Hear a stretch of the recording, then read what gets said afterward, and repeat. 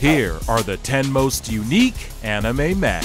Aquarion is the main mecha of Genesis of Aquarion and is a weapon created by ancient humanity to combat the Shadow Angels. Aquarion's pilots are three 1,000 year old reincarnated souls. The Mermaid Gundam from G Gundam is unique because it works better underwater than it does on land. Furthermore, the G Gundam series as a whole was meant to be different from the rest of the franchise. The Little Aloha from Space Dandy is a parody of anime mecha series. Little Aloha rocks a Hawaiian shirt, and his normal version is a science fiction take on a vintage muscle car. Escaflowne is the main mecha in the vision of the Escaflowne and is one of the OGs in the genre. Escaflowne sports a flowing red cape and ornate armor and generally looks super badass. The Wing Zero custom from Gundam Wing Endless Waltz is the transformation of Wing Zero Gundam. Wing Zero custom has four bird like wings that even give off the appearance of feathers.